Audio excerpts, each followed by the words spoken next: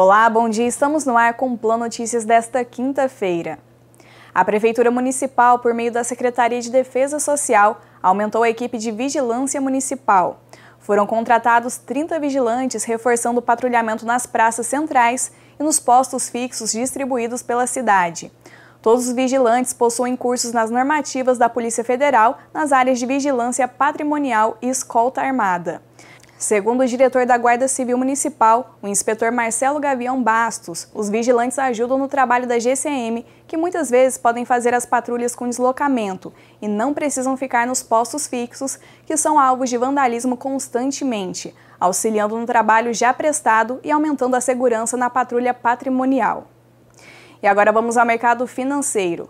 O dólar comercial fechou o dia em baixa, cotado a R$ 5,40 variação negativa de 0,61%.